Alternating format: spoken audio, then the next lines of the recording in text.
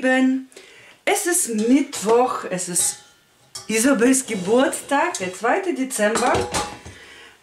Und ich danke euch als erstes ganz, ganz herzlich für die ganzen Glückwünsche, die bis jetzt eingegangen sind auf meinem Kanal unter dem Video, was ich kurz nach Mitternacht hochgeladen habe. Und auch natürlich für die, die noch kommen. Ich werde jetzt, tut mir leid, nicht jedem Einzelnen antworten, weil es wird immer mehr. Ich freue mich auch natürlich darüber. Aber ich bedanke mich dann halt auf diesem Wege. Isabel wird nachher natürlich auch noch was sagen. Sie ist gerade noch in der Schule. Wie gesagt, es ist gerade mal ja, na, Vormittag sogar noch äh, für uns. Unser Mittag ist ja etwas später immer, wenn die Kinder da sind. Ja, es ist ein ganz normaler Tag, Arbeitstag. Papa ist bei der Arbeit, die Kinder sind in der Schule. Gleich in eineinhalb Stunden ungefähr kommt meine Mami, die will helfen. Ja, jetzt muss ich überlegen, was sie mir helfen kann. Ja, zu tun ist hier natürlich mehr als genug. Meine Schwester hat ja jetzt zwei Tage ein bisschen hier rumgewuselt und das Bad geschrubbt und aufgeräumt. Das kann ich euch nachher auch zeigen. Danke, Schwesterchen übrigens. Ja, es sind so Sachen, man putzt und macht, aber so dieses richtig gründliche, ins Detail gehende, dafür habe ich manchmal einfach nicht die Zeit oder die Kraft und das übernimmt momentan dann halt die Familie, also meine Schwester. Mal gucken, was Mama gleich macht, wenn sie da ist. Äh, wir werden einfach mal sehen, was wir machen. Naja. Ja, Mama will natürlich jetzt heute kommen und Isabel auch gratulieren und nicht am Samstag, wie wir sonst eigentlich immer gemacht haben, wenn unter der Woche Geburtstag stattfindet dass wir dann am Wochenende feiern, von mir aus auch in Etappen jetzt, ne, durch die neue Regelungen und so. Oder die, ja, dieses Jahr ist es ja gar nicht neu, ne? Nur Raphael hatte Glück gehabt, dass er richtig feiern konnte im Sommer. Nein, Mama will nicht am Samstag kommen, weil sie dann ja natürlich nichts machen kann. Weil Samstag ist unser Sabbat, unser Ruhetag, da arbeiten wir nicht. Das bedeutet, man müsste sich hinsetzen und Käffchen trinken nur. Und dafür ist meine Mama überhaupt nicht gemacht. Sie muss was tun. Also kommt sie heute. Freue mich natürlich, die war jetzt schon ein bisschen länger nicht mehr hier. Aber mal sehen, was wir jetzt nachher dann erledigen. Ich habe auf jeden Fall auch noch ganz viel zu tun. Im Wohnzimmer sieht es wie in der Groß Großwäscherei aus. Ich muss die Wäsche abnehmen. Ich habe gestern Abend noch eine Maschine angeschmissen gehabt. Jetzt muss ich noch die nächste gleich anwerfen. Und, und, und. Und wir haben nur einen Staubsauger gerade, das fällt mir gerade ein. Ich muss nach oben rennen und den Staubsauger von oben holen. Aber wir haben einen bestellt und der muss diese Woche eigentlich, wenn es klappt, noch kommen. Und den zeige ich euch dann natürlich auch. Ich habe jetzt aber noch was anderes bekommen, außer Isabels Geschenk. Das zeige ich euch ja natürlich auch gleich. Aber als erstes machen wir, glaube ich, den Adventskalender für heute auf. Da ist die zwei, das zweite Türchen. Zack. Und dann, na komm, gucken wir, was wir heute für Gewürz drin haben. Aha, Tomatengewürzsalz ist heute drin gewesen. Das heißt, ich mache heute auf Isabels Wunsch Nudelauflauf, heute Abend, nicht jetzt Mittag. Und dazu entweder normalen Salat oder vielleicht doch Tomatensalat machen. Oder das lasse ich liegen, ich denke normalen Salat. Auf jeden Fall ist das jetzt hier von heute, upsala, das gab es gestern, aber heute backen wir jetzt keine Lebkuchen. Ich werde mir gleich ein Körbchen suchen und alle Gewürze, die jetzt im Kalender waren, da reinstecken. Und ich zeige euch nochmal die Kerzen, die ich nachher auf Isabels Kuchen drauf mache. Ich finde die super schön, weil sie so bunt sind. Ja, so bunt wie meine Tochter. ja, ich schiebe mich natürlich, mir ist es richtig peinlich, wie der Kuchen aussieht. Ich überlege gerade, ob ich losfahre und mir einen neuen kaufe und den einfach mal vergesse, den ich gestern gebacken habe. Weil das sieht aus, als ob es ein fünfjähriges Kind gebaut hatte. Aber ganz ehrlich, ich kann das einfach nicht anders. Also ich habe mit Dekorieren überhaupt nichts am Hut und der Kuchen, das war wirklich spontane Idee. Ich habe es mir eigentlich, wollte eigentlich tatsächlich einen kaufen, habe mir das nur plötzlich so anders überlegt, als wir im Laden waren. Habe gedacht, ich backe einen noch auf die Schnelle. Und ja, nicht schön, aber selten, habe ich auch gesagt. Ne? Isabel wird sich bestimmt freuen. Der schmeckt aber wirklich sehr, sehr lecker. Ich habe jetzt nicht den Kuchen selbst probiert, aber die Sahne einzeln und das hier ist ja, was ich abgeschnitten habe, ist übrig geblieben. Und ich sage es euch echt, Leute, der Boden, also diese Kuchenboden selber, Schmeckt richtig gut. Und dann noch mit Preiselbeeren. Also er wird auf jeden Fall schmecken, der Kuchen. Nur aussehen tut er nicht so hübsch. Ne? So, ich zeige euch jetzt mal ganz schnell, was ich äh, schon bekommen habe. Ich habe mehr bestellt. Es sind ein paar Pakete, die noch kommen müssen. Aber das, was ich bestellt habe, kann ich euch natürlich zeigen. So, neben Isabels Geschenk, was sie nachher auspacken wird, die hat das nur gesehen, eingepackt und wird nachher auspacken, wenn sie wieder da ist, habe ich für mich was bestellt, womit ich erstmal noch lernen muss, wie das geht. Ich habe mir ein Mikrofon bestellt, damit ich die Videos auch mal anders machen kann. Also sprich ein Video, wo ich was mache und dann was spreche. Ne? Also wie, zum Beispiel was im Schnelldurchlauf zeige und dann kann ich sagen, hier mache ich das und hier mache ich dies oder so. Ne? Äh, das nicht nur jetzt äh, zu sehen ist, äh, sondern auch mal ein bisschen erklären, was ich da jetzt tue. Dafür habe ich mir, das ist ein günstiger, also nichts Besonderes, weltbewegendes, habe mir jetzt bestellt. Ne, so ein, ähm, muss ich noch gucken, wie genau das funktioniert beim Videoschneiden. Ne? Und dann habe ich mir, das ist jetzt wirklich auch alles für heute, für meinen Dampfbesen diese hier bestellt. Das sind ähm, diese Ersatzbezüge und bin gespannt, ob die gleich passen. Die scheinen ein bisschen größer zu sein, aber Hauptsache nicht zu klein und die sind alle mit Klett, also klettfähig. Also müsste das eigentlich für Veleda passen. Das stand auch eigentlich von Veleda. Die Struktur gefällt mir. Ich werde sowieso heute noch putzen. Also zeige ich euch, ob das klappt oder nicht. Ja, und Isabels Geschenk. Ich habe es jetzt also wie gesagt, sie packt das nachher aus. Ich nehme die Kamera mit und zeige. Und ich hoffe tatsächlich, dass der zweite Teil von dem Geschenk, was wir jetzt an Sachgeschenk, sie hat auch Geld bekommen, dass es heute noch kommt. Dann hat sie beides gleich auf einmal da. Und wir machen als erstes die Küche. Ist nicht viel, muss nur ein bisschen Geschirrspüler noch einräumen und sauber machen.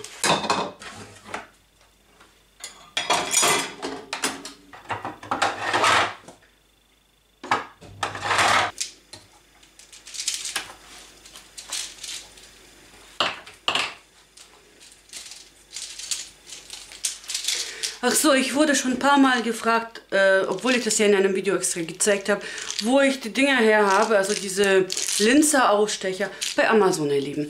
Einfach mal eingeben, Linzer-Ausstecher oder Plätzchen-Ausstecher, Ausstechförmchen oder irgendwie sowas und dann kommen ganz, ganz viele. Also das ist, da waren noch viel, viel mehr und auch andere Formen. Ich habe jetzt die weihnachtliche Variante genommen, ne, mit Schneemann und Tannenbaum und so weiter. Da gibt es deutlich mehr. Also alles Mögliche. Ne? Ich werde mir demnächst wahrscheinlich noch andere holen, äh, damit man auch nicht immer nur zu Weihnachten sowas backen kann. Aber äh, jetzt habe ich erstmal nur für die Zeit diese hier mir geholt. Also Amazon. So, ihr Lieben. Meine Mama hat sich gerade gemeldet, sie kommt ein bisschen später. Das heißt, ich mache jetzt Pfannkuchen, weil die Kinder schon eigentlich fast im Anmarsch sind. Dementsprechend, ja, die müssen gleich was essen. Also, es geht los mit den Pfannkuchen. Ich habe die euch schon mehrmals gezeigt. Deswegen werde ich jetzt nicht groß erzählen, wie ich das mache. Das heißt, äh, auf jeden Fall gehören Eier rein, Milch, Mehl, Zucker, ein bisschen äh, Salz, einen kleinen Tropfen Öl, Butter wird da hinterher drüber schmieren und ein bisschen für die Pfanne. Und das war's. Je nachdem, wie viel Pfannkuchen ihr machen wollt, müsst ihr auch gucken, ob ihr zwei Eier nehmt oder drei Eier. Ist je nachdem, ja, wie gesagt, wie die Menge ist. Ich mache ein bisschen mehr Pfannkuchen. Deswegen nehme ich sogar, glaube ich, vier Eier und nicht nur drei. Ich komme hier gerade so ganz leicht ins Schleudern heute. So viel zu tun. Und ich rudere schon mal hier ein bisschen. Also ich habe ein bisschen schon was erledigt, aber noch lange nicht so viel, wie ich eigentlich gerne hätte. Also vier Eier, wahrscheinlich sogar fünf. Ich nehme fünf. Dann brauchen wir auf jeden Fall Zucker.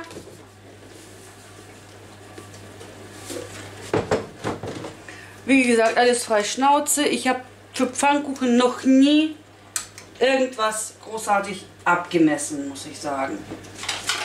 Weil das habe ich schon immer Pi mal Daumen nach Auge so gemacht. So, ein kleiner Prise Salz und Milch. Kann sein, dass ich noch eine Packung hier gleich holen muss. So, ein bisschen Öl. Und dann, ich habe schon die Pfannen angeschmissen. Für den Anfang, für die ersten Pfannkuchen, ein paar Tröpfchen, tatsächlich nur Tröpfchen Öl in die Pfanne rein. So, deswegen. Seht ihr, ein paar Tropfen, wirklich nur ein paar Tropfen. Ich mache heute wieder mit zwei Pfannen, dann geht es schneller. So. Jetzt brauchen wir einen Schneebesen und das Ganze erstmal verrühren. Ich mache die Pfannkuchen ganz leicht vanillig. Also einen Tropfen Vanilleessenz rein.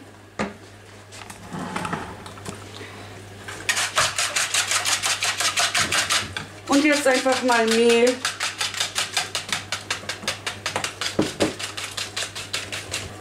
Und zwar so viel, wie ihr es braucht. Halt. Also es ist ja unterschiedlich. Der eine mag die Pfannkuchen dünner. Das heißt, die werden dann halt. Muss nicht so viel Mehl rein. Wenn ihr etwas dicker mag, dann ein bisschen mehr. So, und die Pfannen sind jetzt heiß. Ich mache schon mal die ersten, um zu gucken, ob das jetzt dick, dünn oder wie auch immer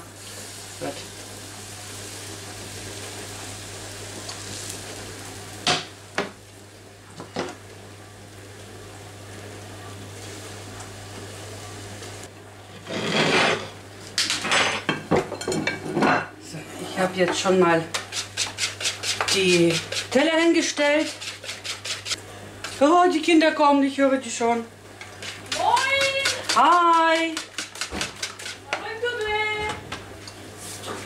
Ich muss 30.000 Zettel unterschreiben lassen. Ja, das wolltest du schon gestern. Ja, das vergiss ich. Pfannkuchen! ihr hört, ne? Die Freude ist riesig. Pfannkuchen. Die Kinder lieben Pfannkuchen. Also alles richtig gemacht. So, ein Stückchen Butter.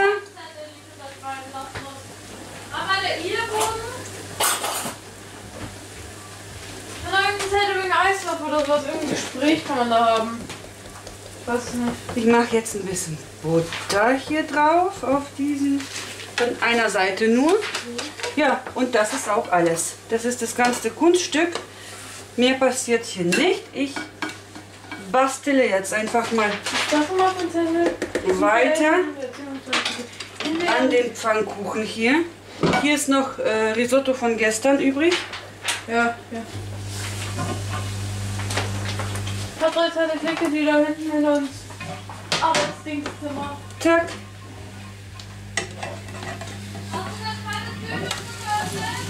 Zack. Und ich mache weiter und zeige euch nachher das Ergebnis. Da ist sie, unser Geburtstagskind. Alles Gute, meine süße Schatzmäusel. Oh, Papa hat sein. Türchen heute schon geöffnet. Mama, Papa hat sein Türchen heute schon geöffnet. Dankeschön für eure ganzen Glückwünsche. Es sind so viele, ne, Isabel? Ja, jetzt ist meine kleine Maus von 17 Jahre alt. Was fährst du mir in die Hosentasche? Nachher kannst du die Geschenke auspacken und zeigen. Aber jetzt erstmal nicht. Jetzt mal machen wir Pfannkuchen. Ah, Die verbrennen gerade. Hast du die schon ausgepackt? Du? Sieht man aber nicht. Aha. Ich habe sie ganz sorgfältig aufgemacht und wieder zurückgemacht. Ich habe mich heute Morgen gewählt. Diese Schummlerin, ne? Ich denke, oh, die Geschenke liegen da so schön noch eingepackt. Und die hat sie aber aufgemacht und schon wieder zugemacht. Hat nachgeguckt heute früh, na- geluschert, was da drin ist. Ja, guck. Naja, ist egal. Mach jetzt auf und zeig es den Leuten, was du heute bekommen hast. Der Rest kommt noch. Sollt ihr heute dabei helfen? Komm. Zeig einfach jetzt, was du bekommen hast. Das, Also, das ist noch nicht alles. Ein Teil kommt. Also, ich entschuldige mich ganz Ah, herzlich für den Krach, der hier gerade ist. Die Kinder sind gerade von der Schule gekommen und müssen natürlich ganz 1, 4, viel 7, Apps. 8. 1, 4, 7, 8. Hier nicht gar nicht. Ja, Äh, geh mal ran, das ist vielleicht äh, Handy von jemandem. Hallo? Nein, da war eine Stimme im Hintergrund, da habe ich gleich gemerkt. Und es war eine 4, ich habe eins gelesen. Ups. Okay, komm hier. Zeig mal, was du bekommen hast. Oh, gestern hat jemand auch angerufen. Frau Kropis. Gropis, ach so, das bin ich natürlich, alles klar. klar Frau Gropis. So, zeig mal, was du bekommen hast, mein Schatz. Aber das, so ein Parfüm und so ein Duschgel und, Und? Das hat sie sich gewünscht. nicht genau das, aber Sowas ähnliches. eine günstigere Variante davon. 50 Euro. Das sind Ich habe sie noch nicht ausprobiert. 120 verschiedene Farben. Da Das stand auch extra für Künstler. Ja. Von daher Das steht bei Faber-Castell auch dabei. Ja, aber Faber-Castell kostet das Fünffache. Ja. Da müssen wir ein bisschen auf Geld achten, ne, mein Schatz? Ich hätte sie mir auch denke mal- selbst holen können. Mach ich denke mal, für den Anfang geht das auch und du hast trotzdem so viele Stifte. Woran, woran Kann man so sauber auspacken, dass es sogar noch Luft hat. das Papier. Ich zerreiße das immer Das Papier konnte, man konnte das, man konnte selbst das Klebeband ohne Schaden von diesem Papier abziehen. Ja, von dem ja, das geht Das- von alleine ab. Das, Hier ist es ein bisschen kaputt gegangen, aber wirklich nur minimal. Also das, das andere, das silberne Papier ist auch sehr grob. Also das habe ich echt, ich habe meine Mühe gehabt, das zuzukleben, dass es auch nicht andauernd aufgeht. Ja, es ist halt ein bisschen fester. So, ich halt- mache jetzt hier weiter. Hier ist Chaos pur gerade. Tut mir leid. So, ihr Lieben, Isabel guckt sich gerade das Video, was ich für sie gemacht habe. Und gerade kam die Post. Der Rest von ihrem Geschenk ist da. Komm her, Raphael, gib mal her. Sie darf das jetzt auspacken. Ist das schwer?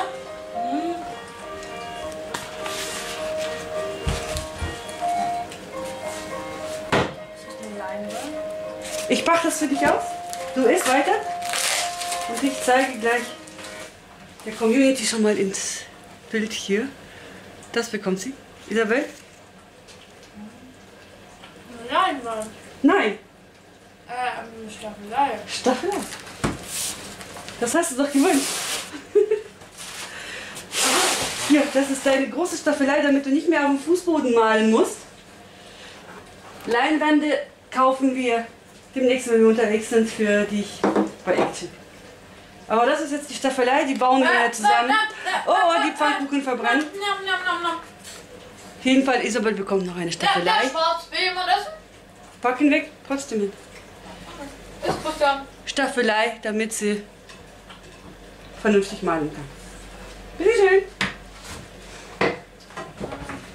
Begeisterung schlägt um sich. Nicht zufrieden? Doch. Ach, beschäftigt mit dem Essen. So, das Mittagessen war super lecker. Also die Pfannkuchen sind sehr gut gewesen, oder?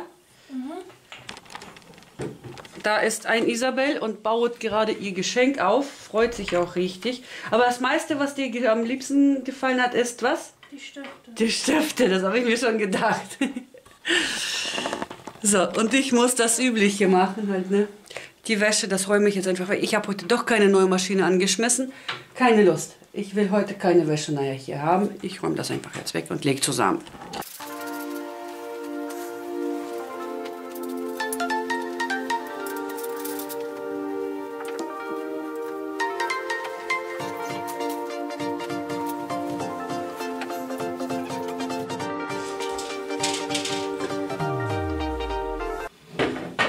Wir schon wieder so viele Einzelsocken? Das ist deine.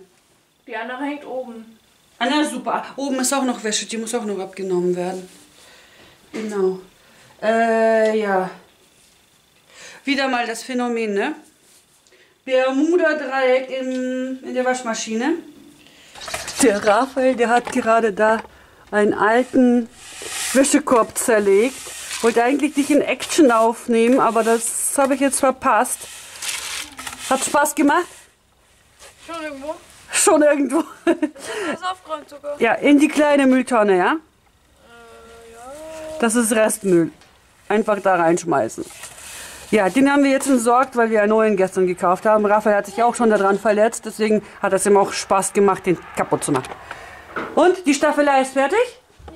Ja. Juhu! Das ist das gute Stück. Das ist sehr gut geworden. Also das habe ich jetzt für sie noch zum Geburtstag bestellt. Und die junge Dame freut sich. Jo, genau. So, und jetzt Geburtstag hin und her. Wir müssen ein bisschen Haushalt erledigen, Fräulein. Ne? Reicher hat schon einen Staubsauger runtergeholt. Schwing mal das Rüsseltier.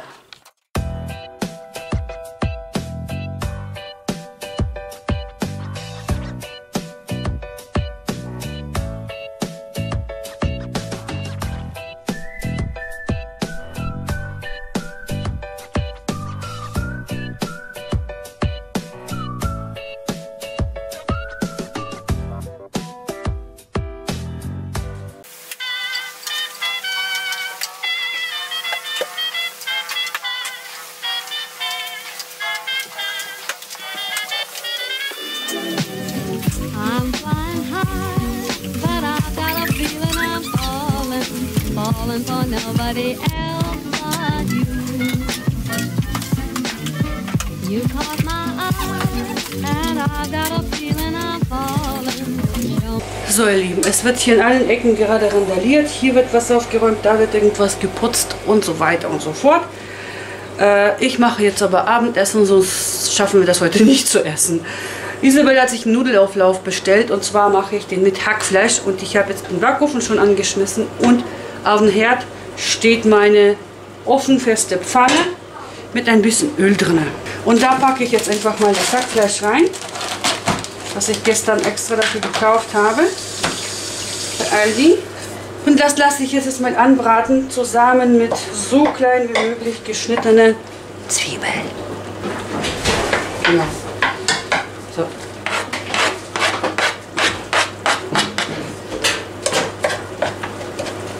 Und dann nehme ich einfach mal nur noch Paprika, zwei Stück und zwei Zehen Knoblauch.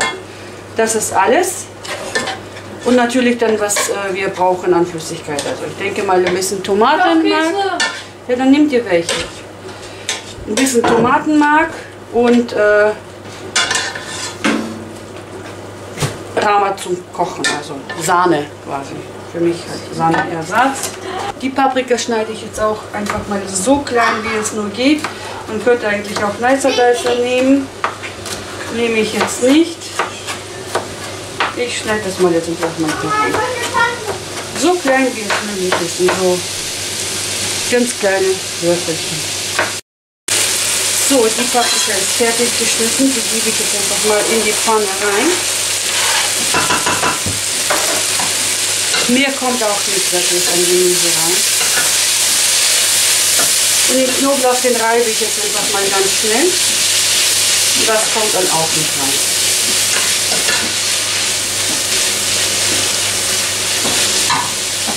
Und zwar nehme ich mal einfach die handliche kleine Reibe und zack, Knoblauch auch mit rein. Und anbraten lassen. Ich habe noch ein bisschen Risotto da. Wer will, kann dann Risotto essen oder eben den Auflauf oder beides. Und die Pfannkuchen sind auch noch da, aber die werde ich vielleicht jetzt abdecken und für morgen lassen und morgen dann gefüllte Pfannkuchen machen, also süße Variante davon. Weil heute wird das zu viel mit Kuchen noch und so. Wir haben ja noch Kuchen. So, es geht jetzt auf jeden Fall weiter. Ich gebe jetzt einfach mal Tomatenmark rein.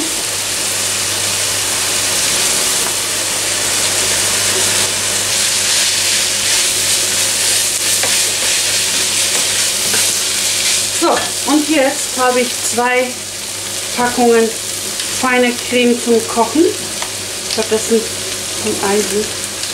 Die kommt jetzt auch mit rein. Eine.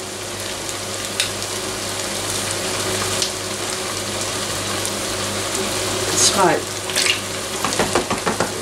Beide spüle ich ein bisschen aus mit Wasser.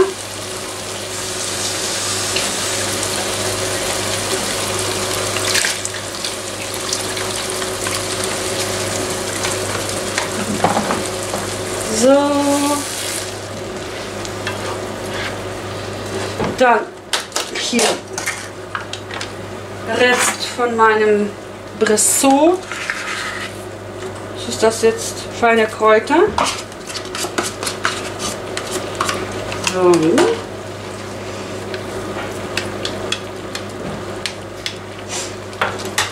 Schön einrühren. Würze nicht vergessen natürlich. Wir haben weder Salz noch sonst was drin. ne? Also zack, Salz rein.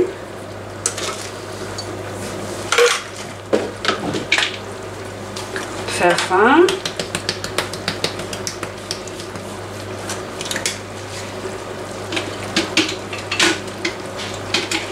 Natürlich Paprikapulver.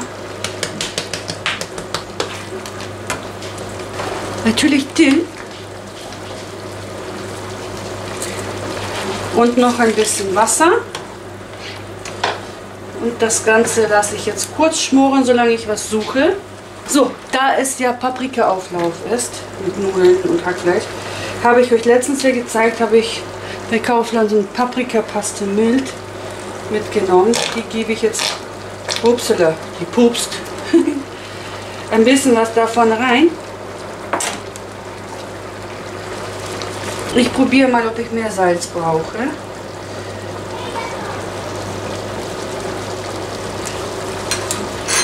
Hm, irgendwas fehlt.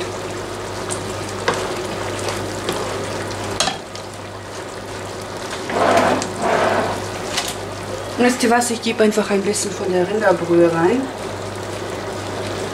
Dann ist es auch gleich Salz und äh, ein bisschen noch Gewürze mit bei. Den Herd habe ich schon ausgemacht. Ich gebe einfach noch ein bisschen Basilikum mit rein. Weil ein bisschen, nicht die gleiche Handvoll. Ja, und jetzt, ich werde oft gefragt, gekochte Nudeln, ungekochte Nudeln. Ungekochte Nudeln. Einfach so, wie die sind. Roh, ich nehme mal die Mini Penne Rigatta. Einmal eine Packung. Müsste eigentlich auch reichen. Umrühren. Ja, das reicht. Hallo Christian.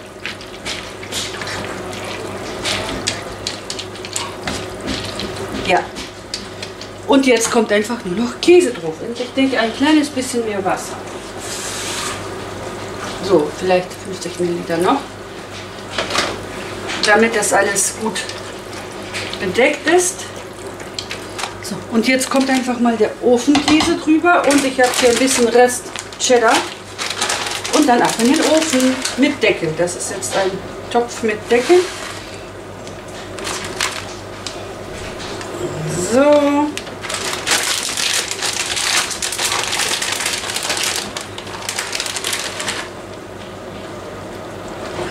Ja, bis er fertig ist. Ich weiß jetzt nicht genau, wie lange das braucht, aber meistens sieht man eigentlich, wenn die Nudeln durch sind, kann man das merken.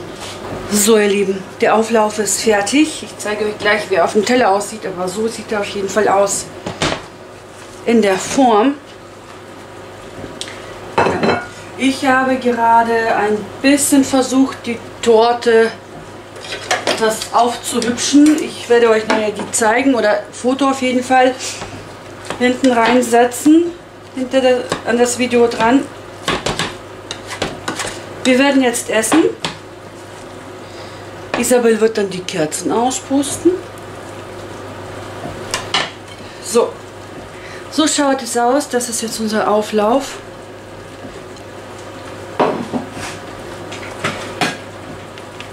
Salätchen ist auch fertig. Die Soßen habe ich auch fertig gemacht. Ja, wir werden jetzt erstmal essen und dann sehen wir uns wieder. Und dann sagen wir euch Tschüss. Ne? Erstmal essen wir. Okay, bis gleich. Und der? Mann! Mama, muss das sein? Happy Birthday to you. So sieht der Kuchen aus, wenn er angeschnitten ist. So, ihr Lieben, der Tag ist jetzt vorbei. Meine Mama ist weg. Wir haben gegessen. Kuchen ist noch ein bisschen was da für morgen. freue mich. Der ist super lecker geworden. Der schmeckt wirklich deutlich besser, als der aussieht. Ja, Isabel hat sich gefreut. Die hat noch von Oma was bekommen. Ein Oberteil und einen Gutschein von Amazon. Oh, Geschirrspüler. Das sind jetzt die Geräusche im Hintergrund.